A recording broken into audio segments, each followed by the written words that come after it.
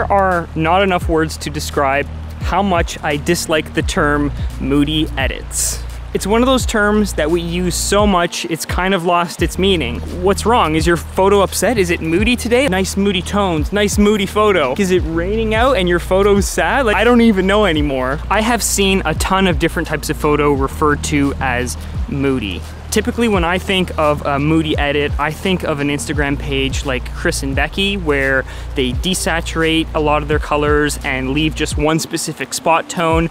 Or another example would be an Alen Palander who does something very similar where his photos are kind of dark and just have one specific color in them. But I've also heard it used to refer to fall photos where you have that super saturated orange look. And I think of Instagram pages like JFX where he removes all the greens and all the yellows and pushes everything towards that really vibrant orange. I don't think either one is right or wrong, but there is one thing that kind of characterizes moody photos in general. And for me, it's that kind of desaturated, but then one specific color stands out. Sometimes you also have a matte effect applied where the shadows are lifted and so it kind of gives photos a more flat appearance, but that's kind of something that can either be in the photo or not. It doesn't really make too much of a difference. One thing that I've been asked a lot is how to do a moody forest edit. And because it's spring here and everything is looking really green, I figured this would be a perfect example. And there's even a bit of an overcast, so my photos will truly be moody. We've got a river here and then a really nice forest off to the side so I'm gonna go grab some photos, but then stick around to the end because I'm actually gonna edit them and show you what that's like as well.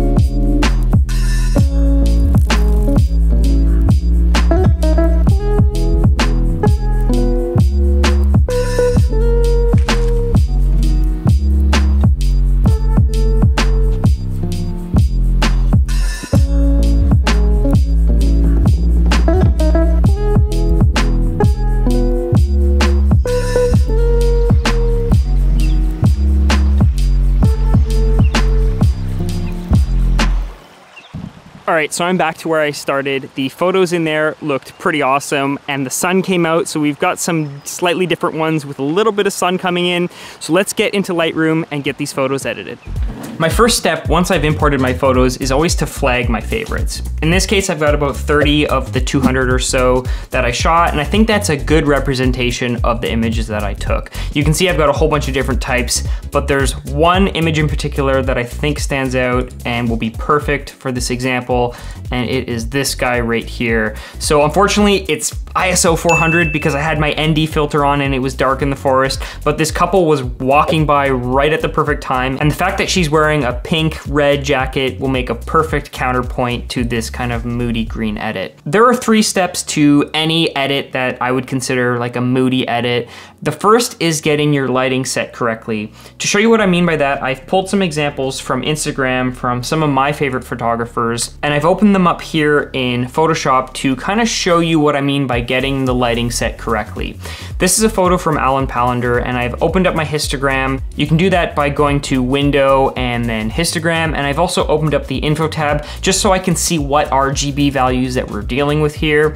In this case, when I hover over, you can see that the blacks are around the 8 to 10 range and we've got not too many white tones, but if you look at the histogram, what you'll notice with this image is that a lot of the tone is located in that lower thirds to lower quarter of the histogram. And that's of course because it is a dark image, but one thing you'll also notice is that there is a little bit of a fall off where the blacks are kind of clipped right here. So we don't have any true blacks in this image.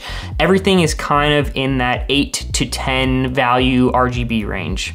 Second photo here is from Brad Matthews. I really like this photo. I think this is a good representation of what's possible with a moody green edit. Again, you'll notice that the blacks are clipped to kind of give it that matte cinematic look. One more here from Chris and Becki. You'll actually see that in this case, the blacks are not clipped. And if I hover over this dark portion, we are getting kind of true black. Yeah, there you go. There's a zero number. We are getting that true black in the image. So you don't necessarily have to apply a black matte to the tone curve, but it is an option to kind of give you that more cinematic, moody feel. So that's important because it's gonna be the first thing you wanna focus on when doing your edits. So in the develop tab, I'm gonna jump to the basic Lightroom settings and start making some adjustments for the highlights and the shadows to get me into that histogram range. You can see already the image is kind of there. I'm gonna start by lowering the highlights and probably the blacks.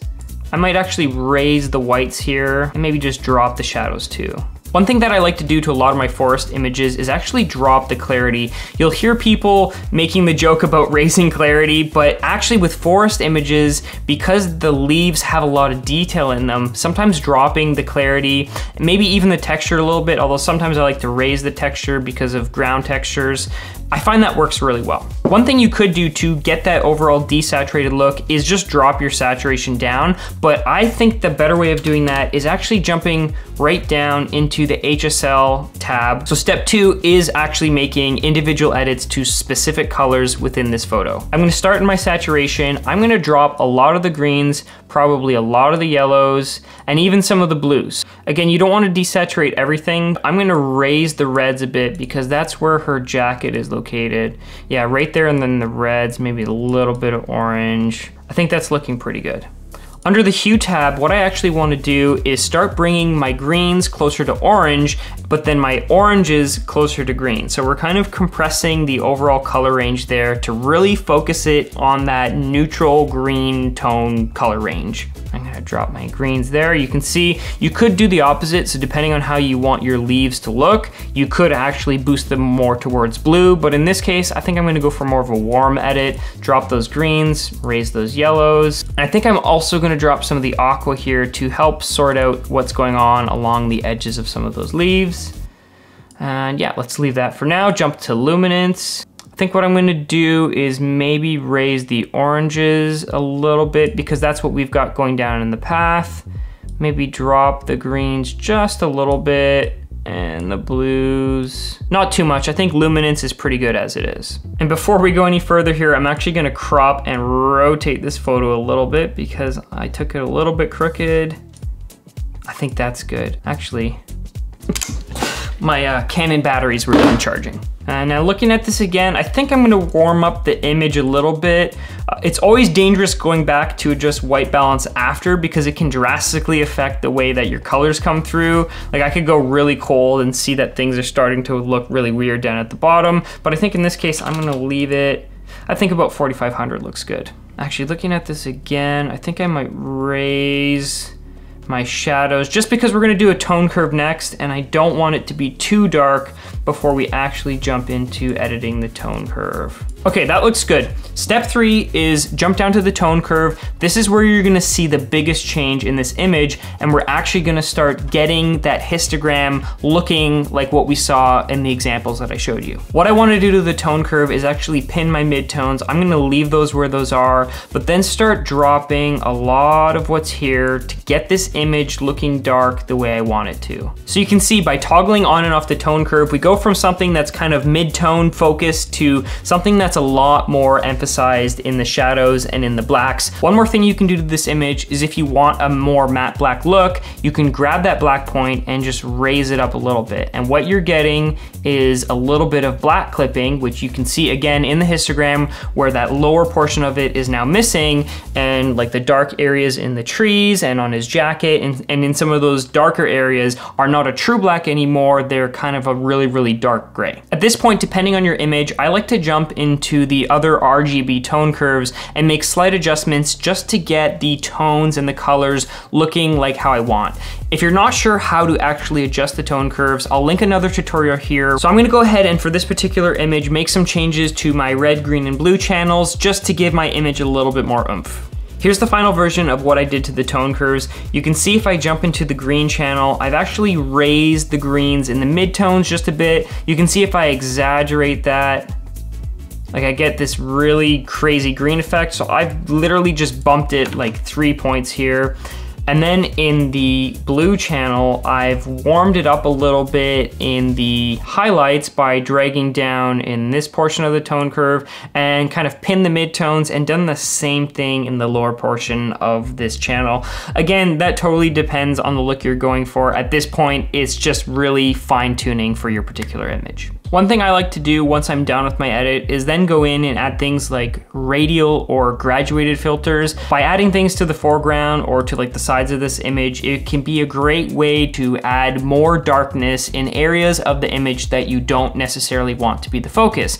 All right, now if I toggle my before and after, you can see that's what we started with and that's where we ended up. So quite a significant change. I'm actually gonna take this setting and copy it and see how it looks on some of the other photos that I took. I really like this photo of the bridge. Here's how it looks on this image of the bridge. I think it looks pretty good. Pretty much the same effect we were going for. In this case, I might actually warm it up a bit, but overall it's looking pretty good. Here's another image of the bridge, and if I just paste the settings, so this one's a bit dark, so in this case I might actually want to raise the exposure a little bit. Again, this one was taken closer to sunset, so we've got the sun coming through on the trees in the background, so maybe not a perfect match, but if you were to remove that portion of the image, otherwise it looks pretty good. And then here's a photo of this plant. So let's try pasting the settings here. So that one actually is pretty good. You can see that a lot of the greens get desaturated exactly like what we were expecting. Again, maybe just a slight tweak for color balance depending on if you wanted it to be really desaturated or maybe just a little bit warmer. If you wanna make these types of edits to your photos, remember those three steps. The first being getting your lighting correct. So you really wanna get your histogram, all those midtones and those shadows crushed down into that lower thirds to make that shape that I showed you on those example images. Step two would be adjusting your color so that the greens are closer to orange and the oranges are closer to green. You really wanna compress your color spectrum so that the image has this smooth overall appearance. Also, make sure you're desaturating your greens so that they're not too vibrant. The last and arguably most important step is tweaking your tone curves so that you're really compressing down your shadows. And of course, you can always apply that matte effect by lifting that black point. If this is an editing style that you think you'd use on your own images, make sure you give this video a thumbs up. If there's another editing style that maybe you've seen on an Instagram page, leave a comment below with the Instagram. I'd love to check it out and see what inspires you, maybe get some inspiration for myself for the next set of images that I edit. I know for me personally, this editing style works really well for how I like to edit my photos. So I think I'm actually gonna sit down now and go ahead and edit the rest of these because I think it just turned out great. Anyways, if you like this, make sure you hit the subscribe and I will see you in the next one.